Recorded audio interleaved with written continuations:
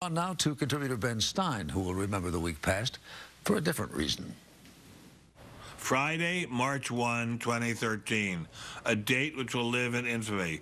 The people and nation of the United States were slowly and deliberately attacked by the partisanship, ideological rigidity, and lack of courage of the top levels of the government of this nation.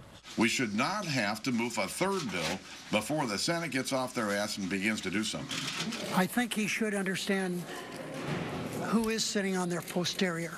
Government run for the people with care, devotion, and love of country went off the rails.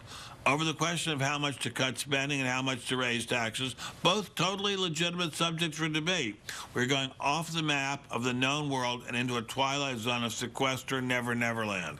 We're playing hazardous games with defense, with the economic recovery, with the guiding of airplanes into airports, with the education of our children.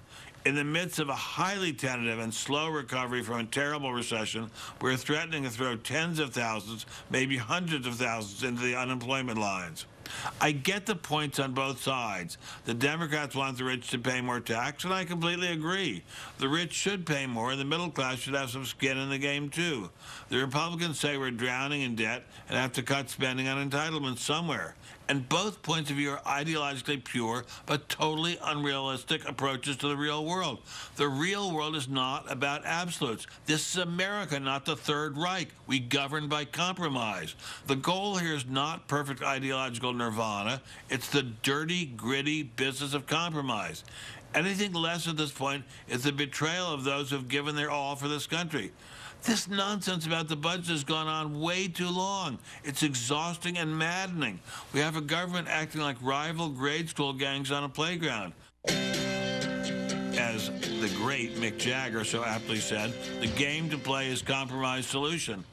Or take someone much greater, Abraham Lincoln said long ago that America was the last best hope of Earth. Let's get way, way back for the break and show that Lincoln was right again, and Mick too.